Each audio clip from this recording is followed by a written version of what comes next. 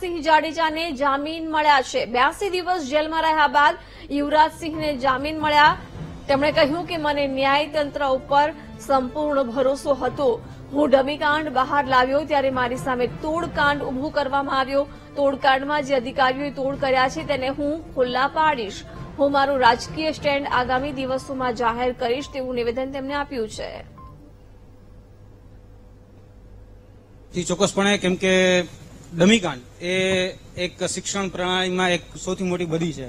અને આ બધા જ ભાવનગરથી બિલોંગ કરો એટલે ભાવનગરની આપ કહી શકાય કે પૃષ્ઠભૂમિને જાણો છો કે આ કેટલા સમયથી આ ચાલતું હતું. બે હજાર બેથી આ જોવા જઈએ તો આ શિક્ષણમાં આ એક બધી એક હતી અને આ ઉદયનું કામ કરતી હતી, જે શિક્ષણ પ્રણાલીને ખોરવાનું કામ કરતી હતી.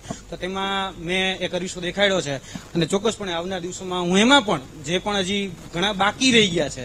અને આની સિવાય પણ, આની સિવાય એટલે કે ડમીકાંડ સિવાય પણ કે ઘણા બધા કૌભાંડો એ અત્યારે વર્તમાનમાં શિક્ષણ વ્યવસ્થા સાથે થઈ રહ્યા છે, એ પણ હું ઉજાગર આવનાર દિવસોમાં કરવાનો છું. પાંડવ વિશે મેં બધાને ખ્યાલ છે કે ભાઈ મારા પછી મારા જે પણ મારા મારી પાસે જે આધાર પુરાવા, એટલે કે મારી પાસે જે એવિડન્સ છે, એ એવિડન્સ મેં યોગ્ય જગ્યાએ રાખેલા હતા અને પાંચ જે યોગ્ય જગ્યાએ રાખેલા હતા એને મેં પાંચ પાંડવોનું નામ આપેલું હતું.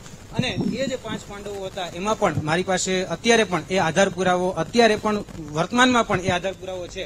પરંતુ જ્યારે એ આ મુદ્દો, એટલે કે તોડકાંડનો જે મુદ્દો હતો, જે રીતે ચકચારી કરી દેવામાં આવ્યો, અને ખાસ કરીને એક મીડિયા મિત્રોને મારી એક વિનમ્ર ભાવે, ટકોર હતી, ટકોર અત્યારે પણ છે, કેમ કે જ્યારે એક પ્રેસ નોટના નામે એક જે સરકારી એજન્ટો જે હતા, ગવર્મેન્ટના જે એજન્ટો હતા, એ લોકો જે પ્રેસના નામે, પ્રેસ નોટના નામે જે વસ્તુ બહાર પડી સીધી જ તમે સાચી માની લીધી.